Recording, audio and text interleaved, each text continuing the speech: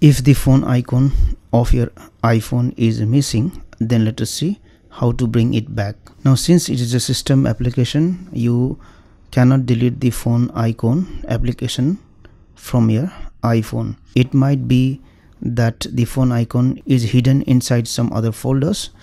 That is why you are not able to see it on the home screen of your iphone. So let us make sure that the phone icon or phone application is in your iphone.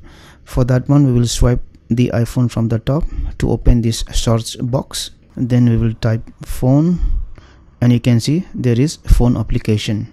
So there is phone application in your iphone. Now if you want to bring this phone application icon to the home screen then what we will do is we will go to settings we will go to general we will go to reset and then we will select this option reset home screen layout. Now once you reset your home screen layout it will go back to the factory defaults. So if you have arranged your phone icons in a certain way then you have to rearrange it again.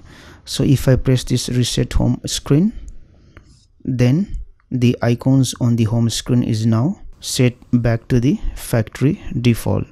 And if you see there is this phone icon on the dock bar in my iphone. Thank you for watching this video. Please like and share this video if you found it helpful.